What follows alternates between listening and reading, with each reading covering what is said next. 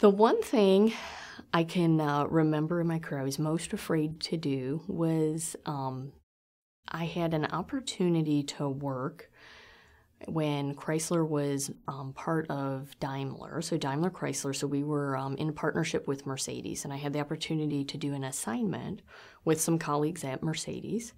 And there was one time when we were having a meeting and we were having a discussion about our um, large trucks, like the, the Ram truck that we produce at Chrysler today. And it was discussing some of the marketing strategies. And so, my German colleagues, um, most of whom were at a higher level in the corporation, were making some comments about the use of the truck and how to market it in the US. And I was the only American in the room and the only female in the room, but what they were saying wasn't necessarily correct. They didn't have a true understanding of the US market.